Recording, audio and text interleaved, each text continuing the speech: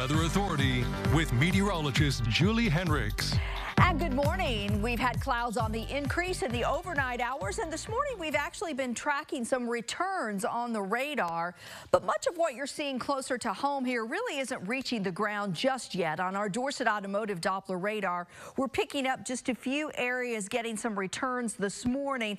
Now, I'm not saying there might not be a sprinkle or two, but as for rain actually coming down, that's still out to the west of us, and we're going to have to saturate all levels of the atmosphere before we actually transition transition to some showers. It's not bad temperature-wise for this time of the year in the morning. These temperatures are above average at 52 in Terre Haute, Greencastle, Paris, a couple upper, upper 40s down to the south, as you can see. So again, our dew point temperatures are pretty far away from where the actual air temperature is. Still seeing dew points in the 30s this morning. And so what that indicates is that the surface, the air is still pretty dry.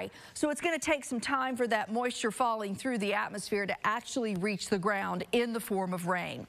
So as you head out the door this morning, probably not going to have to deal with showers early, but as the afternoon continues, we are going to watch rain developing, so you may want to grab those umbrellas before you leave the house.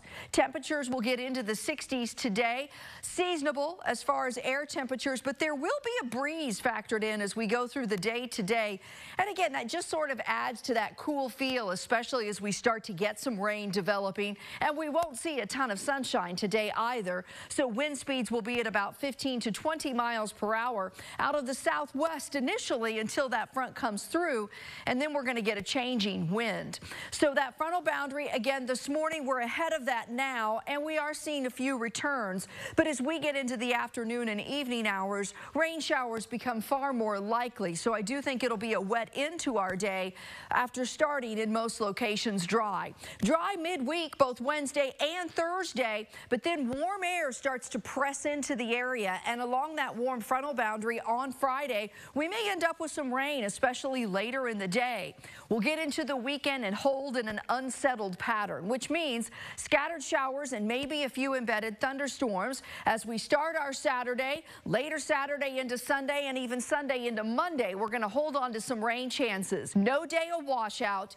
Each of those days, the opportunity for some rain. And temperature-wise, things are looking up if you want that warm weather back. We're going to reinforce cooler air for midweek. So tomorrow, just a little bit cooler than today. But then the warm-up begins as we end the week and head into the weekend. And really, even into early next week, after we cool slightly as we get into Monday and Tuesday, we think temperatures only continue to progressively get warmer, which means we're going to end the month of April and start the month of May with an above normal pattern across much of the country. Things are going to feel summer-like once again.